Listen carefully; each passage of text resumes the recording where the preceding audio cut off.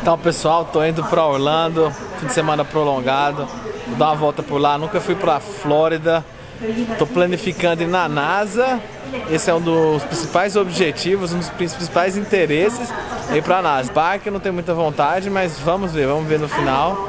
Tô indo para Orlando agora, saindo de Montreal, Vamos lá, ver se Orlando vale a pena ou não. Flórida, restaurante brasileiro vai ter que rolar. Kaká, estamos chegando.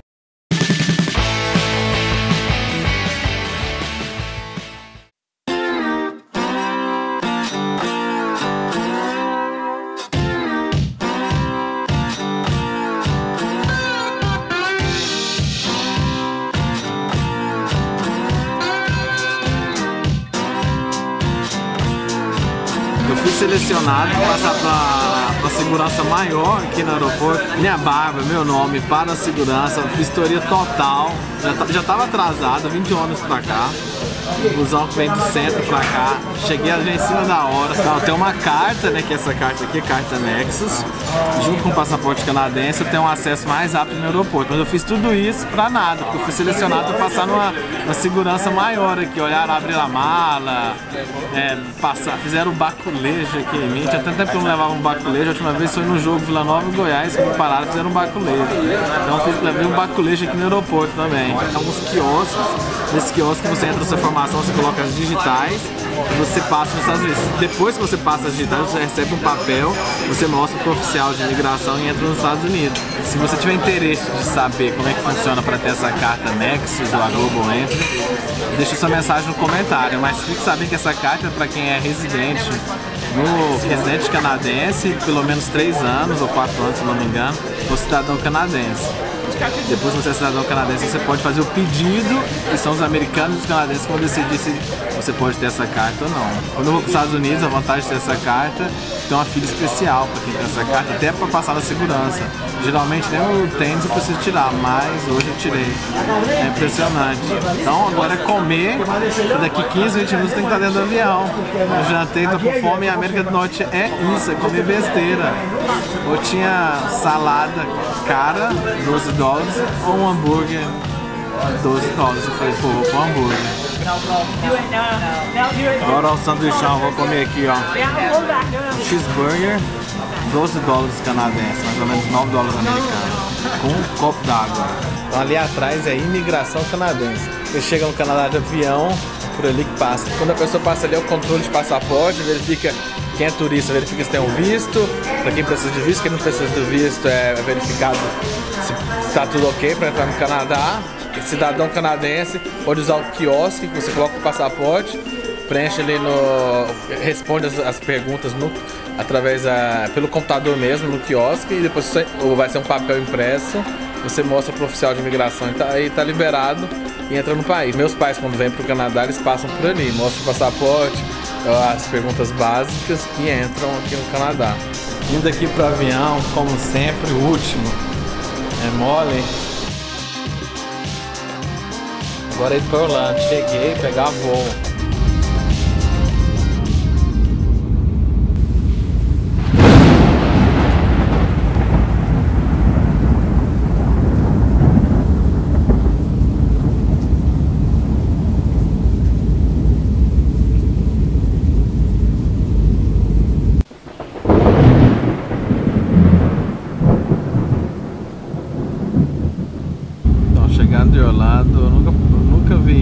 passando ali no meio das nuvens.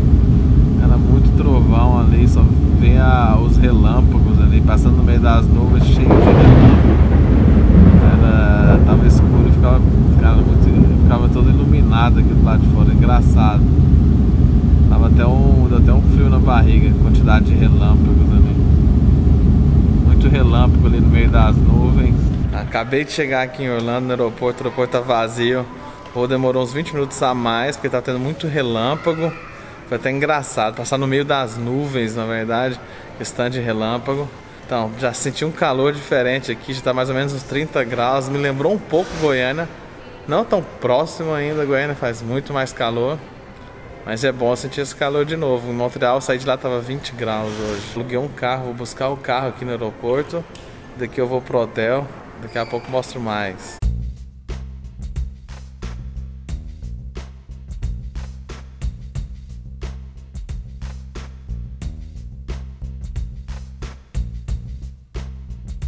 Para pegar a mala aqui em Orlando, tem que pegar esse, tipo esse trem aqui, esse trenzinho aqui.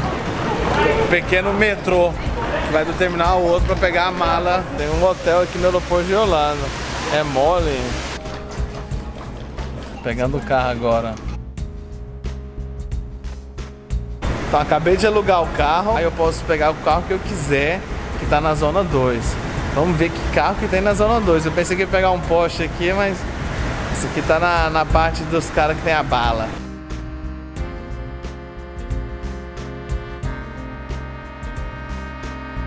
Então escolhi algumas opções aqui, era Elantra, Sonata, acabei pegando esse Corolla. Foi o que? 130 dólares de quinta-feira até segunda-feira cedo. Então peguei esse, peguei esse Corolla aqui e vamos nessa. Até o hotel. Valeu!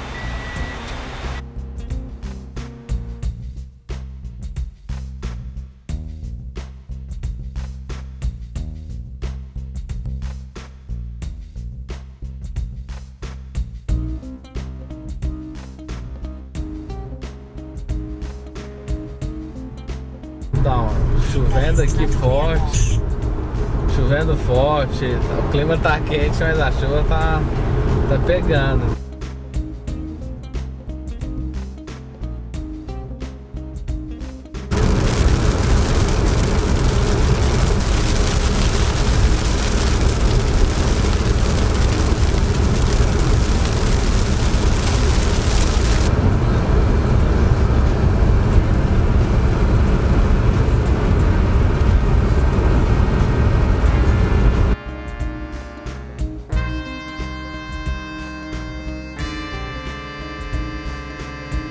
Cheguei depois de 30, 40 minutos dirigindo. Fiquei um pouco perdido. Dois pedágios, cada pedágio 1 dólar 50. O, lado, o que eu acho ruim aqui nos Estados Unidos é isso. O pedágio, porque você está dentro, da, próximo da cidade, passa um pedágio, algum, alguns quilômetros, poucos quilômetros, tem outro pedágio. Mas finalmente cheguei aqui no hotel, agora é descansar para aproveitar amanhã, mas muita chuva, o tempo tá ruim. Chuva forte, para, chuva forte, para. Ó o relâmpago, tá foda. Até mais.